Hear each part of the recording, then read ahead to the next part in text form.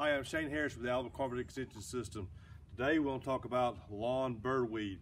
Here we have a large patch of lawn burweed that has come up over the wintertime and is going to be a problem in this backyard because it's beginning to seed and develop those painful burrs that we don't want to have in our feet.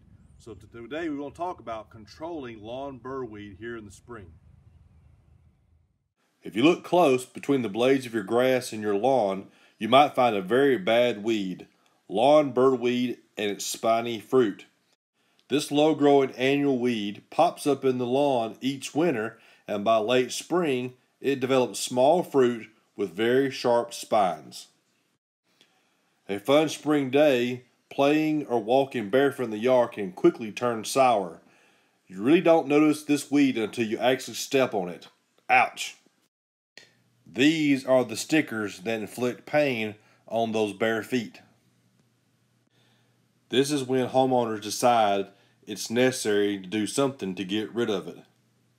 When lawn burweed is a very small plant, it's much easier to control it in November through February. During this time, it has not yet developed its spine tip burrs. One can spray the lawn with a broadleaf herbicide to control it.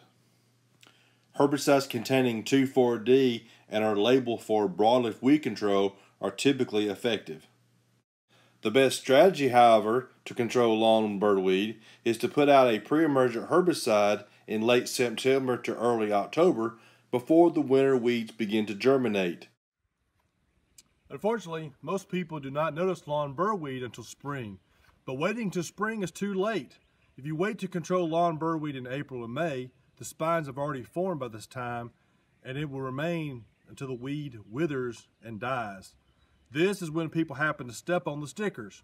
Because lawn burweed is a winter annual, it will soon die when the air temperatures reach about 90 degrees. But the dried up stickers will still be there. For more information on home and garden questions you might have, including weed control, visit us online at aces.edu.